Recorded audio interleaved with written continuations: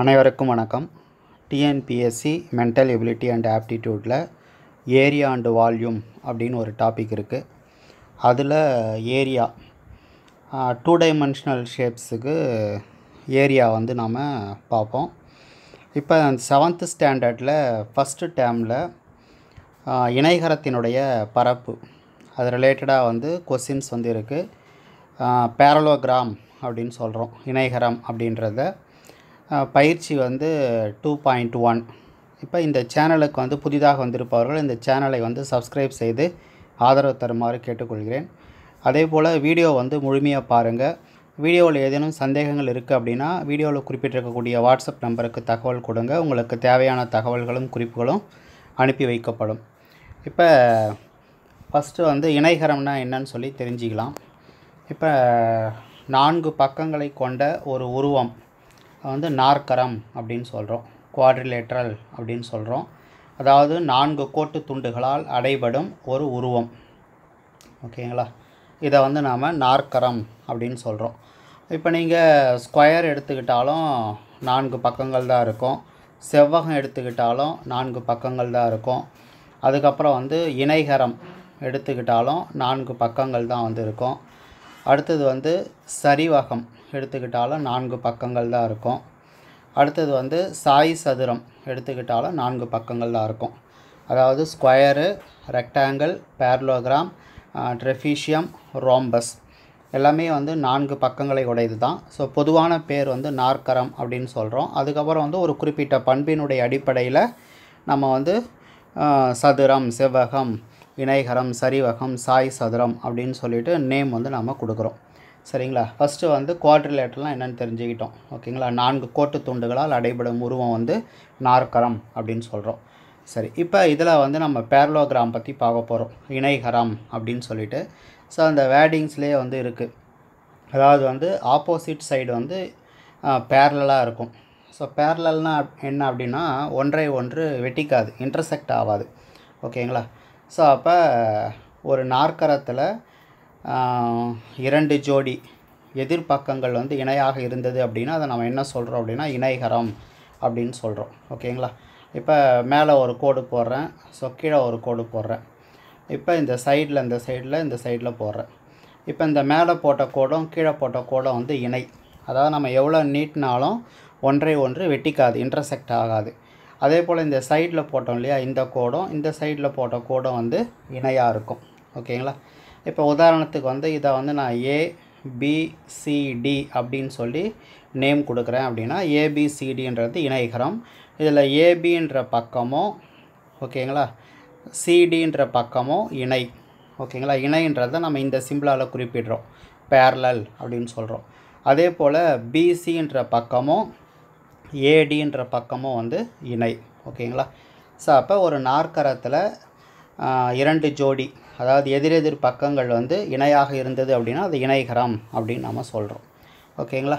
சரி இப்போ இந்த இணைகரத்தினுடைய பரப்பு அதாவது ஏரியா ஆஃப் த பேரலோகிராம் அதாவது வந்து ஒரு சமதள பகுதியில் ஒரு பொருள் வந்து எவ்வளோ இடத்த அடைச்சிக்குதோ அதுதான் வந்து நாம் பரப்பு அப்படின்னு சொல்கிறோம் அதாவது ஏரியா அப்படின்னு சொல்கிறோம் ஸோ அப்போ அந்த ஏரியா ஆஃப் த பேரலோகிராம் என்ன அப்படின்னு பார்த்தீங்கன்னா ஃபார்முலா வந்து பிஹெச் ஓகேங்களா? ஏ ஈக்குவல் டு ஏனா area A equal to b h பின்றது base ஹெச்ன்றது வந்து ஹைட்டு ஓகேங்களா?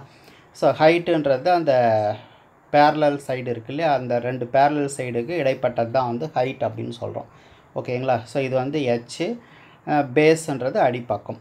ஓகேங்களா? ஸோ அப்போ இணைகரத்தினுடைய பரப்பு ஏ ஈக்குவல் டு பிஹெச் சதுர அலகுகள் அப்படின்னு சொல்கிறோம் ரொம்ப ஈஸியான ஃபார்முலா ஸோ அப்போ இந்த ஃபார்முலாவில் வந்து மூன்று மதிப்புகள் இருக்குது ஏன்றது ஏரியா அது ஒரு மதிப்பு. பின்றது பேஸு அது ஒரு மதிப்பு. ஹெச்ன்றது ஹைட் அது ஒரு மதிப்பு. ஆக மொத்தம் மூணு மதிப்பு இருக்குது ஸோ அந்த மூன்று மதிப்புகளில் ஏதேனும் இரண்டு மதிப்புகள் கொடுத்துட்டு இன்னொரு மதிப்பு வந்து கண்டுபிடிக்க சொல்லலாம். ஓகேங்களா? ரைட் இப்போ ஃபஸ்ட்டு வந்து பார்த்திங்கன்னா எடுத்துக்காட்டு ரெண்டு புள்ளி ஒன்று இங்கே வந்து ஒரு படம் கொடுத்துட்டாங்க. ஒரு ரெண்டு படம் கொடுத்துட்டு அதனுடைய பரப்பளவு மற்றும் சுற்றளவு வந்து கண்டுபிடிக்க சொல்கிறாங்க சரி இப்போ இந்த ஃபஸ்ட்டு படத்தில் வந்து பார்த்திங்கன்னா ஏபிசிடின்றது இணைகரம். இப்போ சிடியோட அளவு எவ்வளோன்னு பார்த்தீங்கன்னா பதினஞ்சுன்னு கொடுத்துருக்குறாங்க. ஓகேங்களா? அப்போ ஏபி எவ்வளோனா அதுவும் வந்து பதினஞ்சு தான். ஓகேங்களா? ஸோ அப்போ பேஸ் வந்து பதினஞ்சு அப்படின்னு சொல்லி கிடச்சிருச்சு. சரி ஹைட் எவ்வளோ கொடுத்துருக்குறாங்க அப்படின்னா இந்த ஏபிக்கும் சிடிக்கும் இடைப்பட்ட தூரம் எவ்வளோ கொடுத்துருக்காங்கன்னா? நாலு சென்டிமீட்டர் அப்படின்னு கொடுத்துருக்காங்க. அப்போ ஹெச்எஸ் ஈக்குவல் டு நாலு. ஸோ அப்போ பரப்புக்கு என்ன ஃபார்முலா ரெண்டுத்தையும் பெருக்கணும் இல்லையா? பேஸையும் ஹைட்டையும் பெருக்கணும். ஸோ அப்போ பதினஞ்சு நாலையும் பெருக்கினா அறுபது. ஓகேங்களா? ஸோ அப்போ மொதல் படத்தில் வந்து பரப்பு வந்து அறுபது. சரி. அடுத்து சுற்றளவுனா என்ன அப்படின்னு பார்த்தீங்கன்னா மூடிய வடிவத்தின் எல்லையினுடைய நீளம் தான் வந்து சுற்றளவு அப்படின்னு சொல்கிறோம் இல்லைனா நீங்கள் நான்கு பக்கத்தினுடைய அளவையும் கூட்டிக்கோங்க. அதான் வந்து சுற்றளவு. வேறு ஒன்றும் கிடையாது. ஸோ அப்போ மேலே பதினஞ்சுன்னும் போது அடிப்பக்கமும் பதினஞ்சு. இந்த சைடில் வந்து அஞ்சுன்றதுனால இந்த சைடை வந்து அஞ்சு. இப்போ எல்லாத்தையும் கூட்டினீங்கன்னா ஒரு பதினஞ்சு ஒரு அஞ்சு மறுபடியும் ஒரு பதினஞ்சு மறுபடியும் ஒரு அஞ்சு. எல்லாத்தையும் கூட்டினீங்கன்னா நாற்பது ஸோ அப்போ இந்த முத படத்தினுடைய சுற்றளவு வந்து நாற்பது அப்படின்னு சொல்லி கிடைக்குது. ஓகேங்களா? சரி. அடுத்தது ரெண்டாவது படம். ஸோ ரெண்டாவது படத்தில் வந்து பார்த்திங்கன்னா இந்த சைடில் வந்து ஒன்பது அப்படின்னு கொடுத்துருக்குறாங்க. ஏடின்றது ஒன்பது. அப்போ பிசின்றது ஒன்பது. அப்போ அடிப்பக்கம் வந்து ஒன்பதுன்னு எடுத்துக்கிறேன். ஹைட் வந்து பதினாறுன்னு கொடுத்துக்கிறாங்க. ஸோ அப்போ ஒன்பதையும் பதினாறையும் பெருக்கினா நூற்றி நாற்பத்தி நாலு அதான் வந்து பரப்பளவு. சரி அடுத்து சுற்றளவுன்னும் போது எல்லாத்தையும் கூட்டிக்கணும் இல்லையா? ஸோ அந்த ஒன்பது பதினாறு ஒன்பது பதினாறு. சாரி பதினெட்டு இது. மேலே இருக்கிறது பதினெட்டுன்னும் போது கீழே இருக்கிறதும் வந்து பதினெட்டு. ஸோ பதினெட்டு. ஸோ அப்போ பதினெட்டும் பதினெட்டும் முப்பத்தி ஆறு முப்பத்தி ஆறு ஒம்பது நாற்பத்தஞ்சு நாற்பத்தஞ்சு ஒம்போதும் ஐம்பத்தி நாலு அப்போ சுற்றளவுன்றது நான்கு பக்க அளவுகளின் கூடுதல். அவ்வளோதான் சாதாரண ஒரு அடிஷன் சம் தான். சரிங்களா? அடுத்து ரெண்டாவது அடிப்பக்கம் வந்து பன்னெண்டு அதாவது வந்து பேஸ் வந்து பன்னெண்டு ஹைட் வந்து எட்டு ஹெச் வந்து எட்டு. ஸோ அப்போ இணைகரத்தின் பரப்பு காண்க ரெண்டுத்தையும் பெருக்கணும். பன்னெண்டு எட்டு எவ்வளோ தொண்ணூற்றி ஆறு அவ்வளோதான் ஆன்சர் ஸோ பார்த்தோன்னே வந்து சொல்லிடலாம். அடுத்த கொஸ்டின் வந்து பார்த்திங்கன்னா இப்போ பரப்பளவு கொடுத்துட்டாங்க. ஸோ நான் ஏற்கனவே சொல்லியிருக்கிறேன் ஏஎஸ் ஈக்குவல் டு பிஹெச் அப்படின்னு சொல்கிற ஃபார்முலாவில் மூன்று மதிப்புகள் இருக்குது இதில் ஏ வந்து கொடுத்துட்டாங்க. ஏ வந்து முந்நூற்றி அறுபத்தி எட்டு அப்படின்னு கொடுத்துட்டாங்க. பேஸ் வந்து இருபத்தி மூணுன்னு கொடுத்துட்டாங்க. ஹெச் வந்து கண்டுபிடிக்க சொல்கிறாங்க அவ்வளோதான் ஸோ அப்போ ஹெச் வேணும் அப்படின்னா அந்த இருபத்தி மூணை வந்து சமக்குறிக்கு அந்த சைடு கொண்டு போனீங்கன்னா வகுத்தலாக மாறும். ஸோ அப்போ முந்நூற்றி அறுபத்தி எட்டை இருபத்தி மூணால் வகுக்கணும். ஸோ இருபத்தி மூணால் வகுத்திங்கன்னா ஹெச் கிடைக்கும். ஸோ இது வந்து பதினாறு டை சிக்ஸ்டீன் டைம்ஸ் வரும். ஸோ அப்போ ஆன்சர் வந்து பதினாறு. அவ்வளோதான். ஓகேங்களா? ஏ ஈக்குவல் டு பிஹெச் அந்த ஃபார்முலாவில் வந்து மூன்று மதிப்புகள் இருக்குது அதில் வந்து ஏ கொடுத்துட்டாங்க பி கொடுத்துட்டாங்க ஹெச் வந்து கண்டுபிடிக்கணும். அடுத்த கொஸ்டின் வந்து இணைகரத்தினுடைய அடுத்தடுத்த பக்கங்கள் முறையே பன்னெண்டு சென்டிமீட்டர் மற்றும் ஒன்பது சென்டிமீட்டர் சிறிய பக்கங்களுக்கு இடையே உள்ள தொலைவு எட்டு சென்டிமீட்டர் எனில் பெரிய பக்கங்களுக்கு இடையே உள்ள தொலைவை காண்க. ஸோ அப்போ இது வந்து கொஞ்சம் யோசிக்க வேண்டிய கொஸ்டின் இது. இப்போ அடுத்தடுத்த பக்கங்கள் வந்து பன்னெண்டு சென்டிமீட்டர் ஒன்பது சென்டிமீட்டர் அப்படின்னு சொல்லி கொடுத்துருக்குறாங்க. இப்போ உதாரணத்துக்கு வந்து நான் வந்து படம் வந்து இப்படி போடுறேன். ஒரு இணைகரத்தினுடைய படம். சரி இது வந்து பன்னெண்டு சென்டிமீட்டர் இது வந்து ஒன்பது சென்டிமீட்டர் அப்படின்னு கொடுத்துருக்குறாங்க. ஸோ அப்போ இது பன்னெண்டுன்றதுனால மேலேயும் பன்னெண்டு தான் இது ஒன்பதுன்றதுனால இதுவும் வந்து ஒன்பது தான். ஓகேங்களா? சரி அடுத்து என்ன கொடுத்துருக்காங்க அப்படின்னா சிறிய பக்கங்களுக்கு இடையே உள்ள தொலை வந்து எட்டு சென்டிமீட்டர் அப்படின்னு சொல்லி கொடுத்துருக்குறாங்க. சரியா? சரி. இப்போ சிறிய பக்கம் பன்னெண்டுன்றது சிறிய பக்கமாக ஒன்பதுன்றது சிறிய பக்கமாக அப்படின்னு பார்த்தீங்கன்னா ஒன்பதுன்றது தான் சிறிய பக்கம். ஸோ அப்போ அந்த ஹைட் வந்து எவ்வளோ கொடுத்துருக்குறாங்க அப்படின்னா எட்டு அப்படின்னு கொடுத்துருக்குறாங்க. ஸோ அப்போ பேஸ் வந்து ஒன்பது நம்ம எடுத்துக்கிறோம். அடிப்பக்கம் ஹெச் வந்து எட்டுன்னு எடுத்துக்கிறோம். ஸோ அப்போ பரப்பளவு எவ்வளோ ஆச்சு? ஒன்பது எட்டு எழுபத்தி ரெண்டு அப்படின்னு ஆச்சு. ஓகேங்களா? சரி. இப்போ பெரிய பக்கம் வந்து பேஸாக நம்ம எடுத்துக்கிறோம் அப்படின்னா அப்போ பி இஸ் ஈக்குவல் டு பன்னெண்டுன்னு வரணும். அதே ஏ வந்து எழுபத்தி ரெண்டு தான் வரணும். ஸோ அப்போ ஹெச் வந்து என்ன வரும் அப்படின்னா ஸோ பன்னெண்டு எதால் பெருக்கணும் எழுபத்தி ரெண்டு ஆறால் பெருக்கணும் எழுபத்தி ரெண்டு ஸோ அப்போ ஹெச் இஸ் ஈக்குவல் டு ஆறு. அப்போ பெரிய பக்கங்களுக்கு இடையே உள்ள தொலைவு எவ்வளோன்னு பார்த்தீங்கன்னா ஆறு சென்டிமீட்டர் அவ்வளோதான் ஓகேங்களா அடுத்தது. இணையகரத்தினுடைய அடிப்பக்கமானது அதனுடைய உயரத்தை போல மூன்று மடங்காகும் அப்படின்னு சொல்லி கொடுத்துருக்குறாங்க. அதன் பரப்பளவு நூற்றி தொண்ணூற்றி ரெண்டு சதுர சென்டிமீட்டராக இருப்பின் அடிப்பக்கத்தையும் உயரத்தையும் காண்க.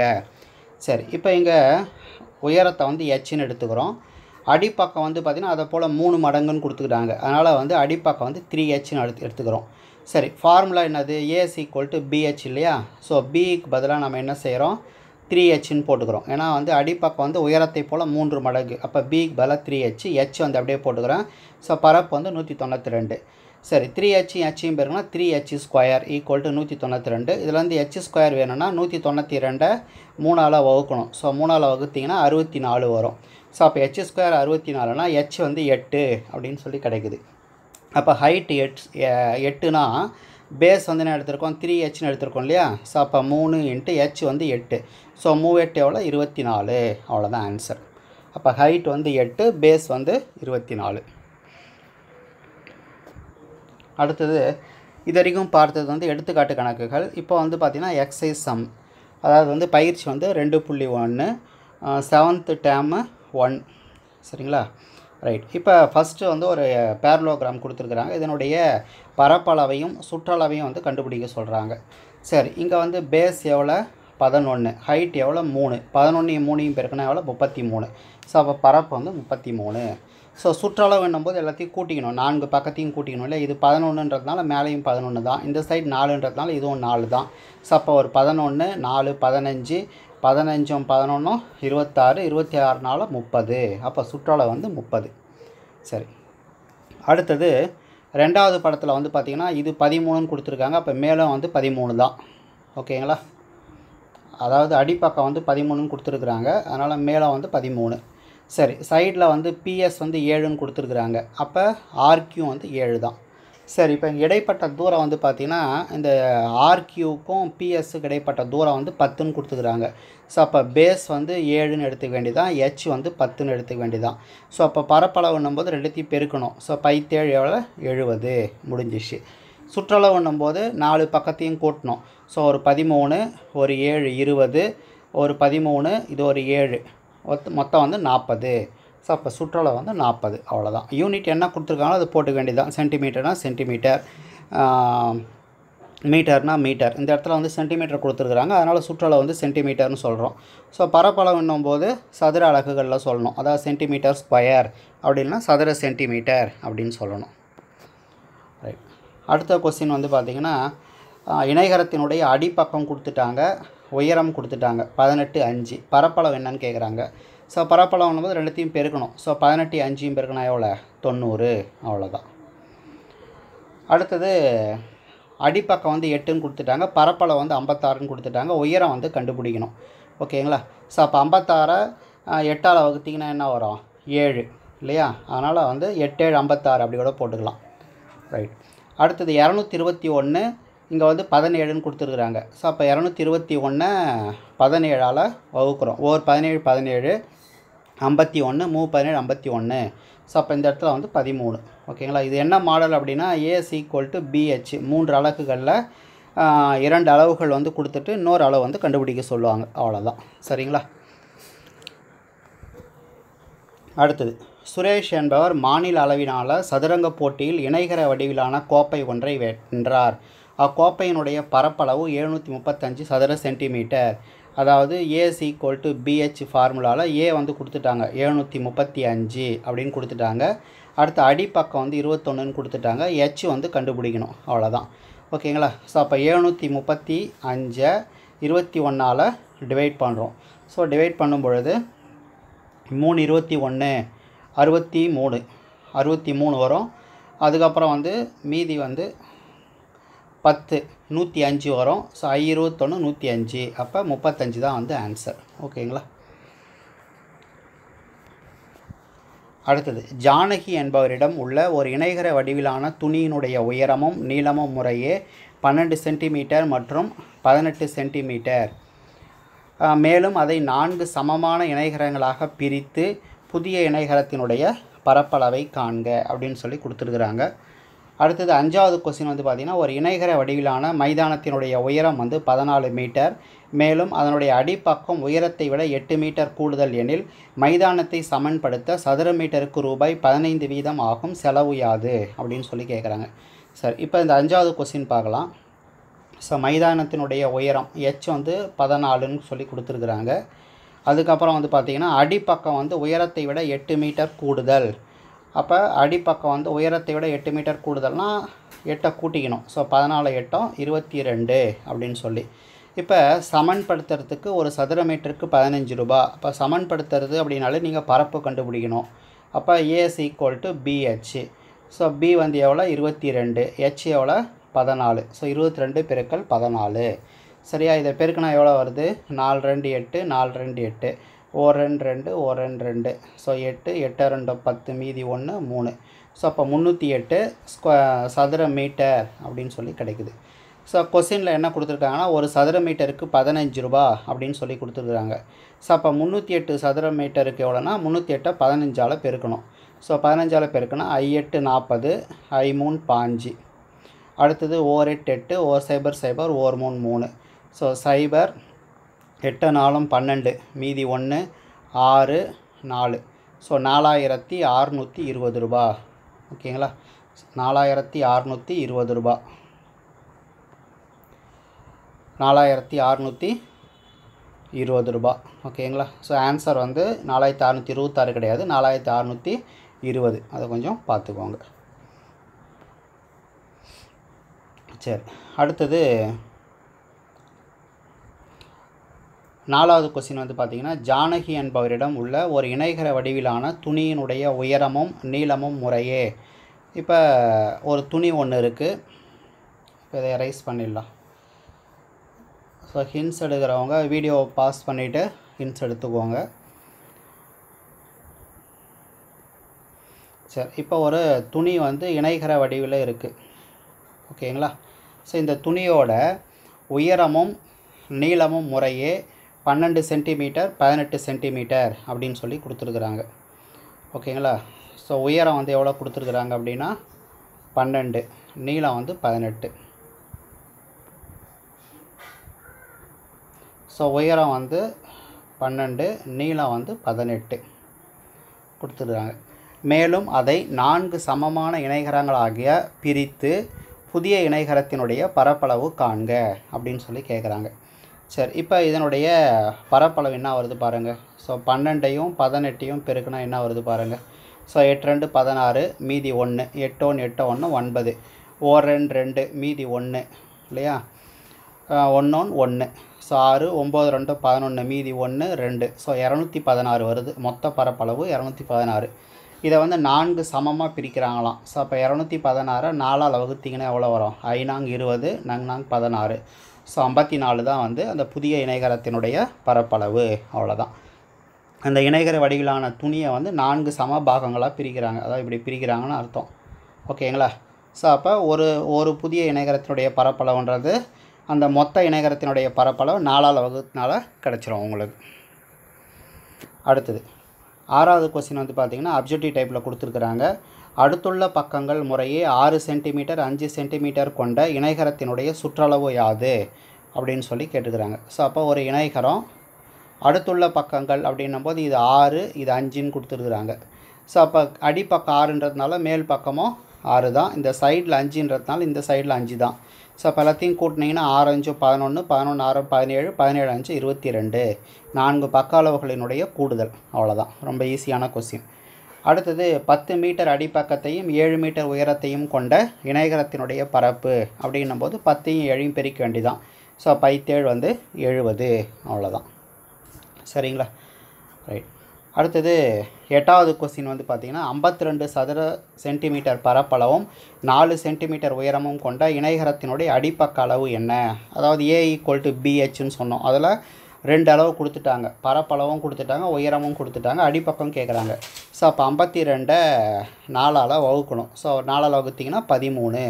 ஸோ அப்போ பதிமூணு தான் வந்து ஆன்சர் அடுத்தது ஒரு இணைகரத்தினுடைய அடிப்பக்கத்தை இரண்டு மடங்காகவும் உயரத்தை பாதியாகவும் மாற்றும் பொழுது இணைகரத்தினுடைய பரப்பளவு எவ்வாறு மாறும் அப்படின்னு சொல்லி கேட்குறாங்க சரி இப்போ அடிப்பக்கத்தை ரெண்டு மடங்காக மாற்றுறாங்க ரெண்டு மடங்காக மாற்றுறாங்கன்னா நூறு சதவீதம் உயருது அப்படின்னு அர்த்தம்.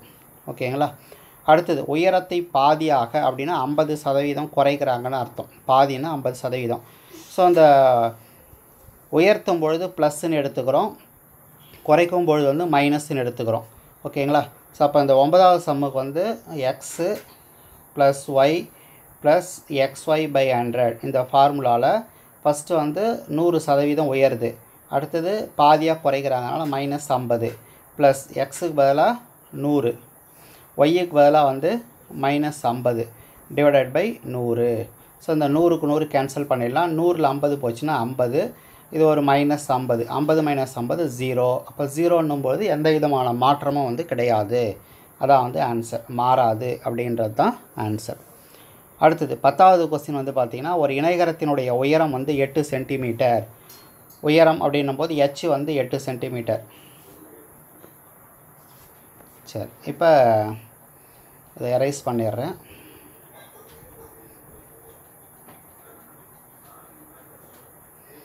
இணையகரத்தினுடைய உயரம் ஹெச் is equal எட்டு சென்டிமீட்டர் கொடுத்துருக்குறாங்க. அதுக்கப்புறம் அடிப்பக்கம் வந்து உயரத்தை போல் மூன்று மடங்கு அடிப்பக்கம். பேஸ் வந்து பார்த்திங்கன்னா மூன்று மடங்கு அப்படின்னா மூவெட்டு இருபத்தி நாலு கொடுத்துட்டு பரப்பு என்னன்னு சொல்லி கேட்குறாங்க பரப்புன்னும் போது ரெண்டுத்தையும் பெருக்கணும். A equal to B H so A வந்து இருபத்தி சாரி பி வந்து இருபத்தி நாலு ஹெச் வந்து எட்டு. இருபத்தி நாலு எட்டையும் பிறகுனா எட்னாங்க முப்பத்தி ரெண்டு மீதி மூணு எட்டு ரெண்டு பதினாறு மூணு பத்தொம்போது நூற்றி தொண்ணூற்றி ரெண்டு ஸோ அப்போ நூற்றி தொண்ணூற்றி ரெண்டு தான் ஆன்சர் ஓகேங்களா? ஸோ அப்போ இந்த பயிற்சியை பொறுத்த வரைக்கும் பார்த்தீங்கன்னா ஒரே ஒரு ஃபார்முலா தான் இணைகரத்தினுடைய பரப்பளவு ஏ ஈக்குவல் டு பிஹெச் இதில் ஏன்றது பரப்பு பின்றது பேஸு ஹெச்ன்றது ஹைட்டு இந்த மூன்று மதிப்புகளில் ஏதாவது ரெண்டு மதிப்பு கொடுத்துட்டு இன்னொரு மதிப்பு கண்டுபிடிக்க சொல்லுவாங்க. ஓகேங்களா? சரி இது வந்து ரொம்ப ஈஸியான டாபிக் தான். இது வந்து டிஎன்பிஎஸ்சி பொறுத்த வரைக்கும் ஏரியான்ற டாப்பிக்கில் வந்து வருது. ஓகேங்களா? இப்போ இந்த சேனலில் தொடர்ந்து பாருங்கள் உங்களுக்கு ஆப்டிடியூட் மற்றும் மேக்ஸ் வந்து முழுமையான பாடத்தொகுப்பு வந்து வீடியோவாக கிடைக்கும். இப்போ இந்த வீடியோவில் ஏதேனும் சந்தேகங்கள் இருக்குது அப்படின்னா இங்கே குறிப்பிட்டிருக்கக்கூடிய வாட்ஸ்அப் நம்பருக்கு தகவல் கொடுங்க. தேவையான தகவல்களும் குறிப்புகளும் அனுப்பி வைக்கப்படும். மற்றும் ஒரு வீடியோவில் சந்திப்போம். நன்றி வணக்கம்.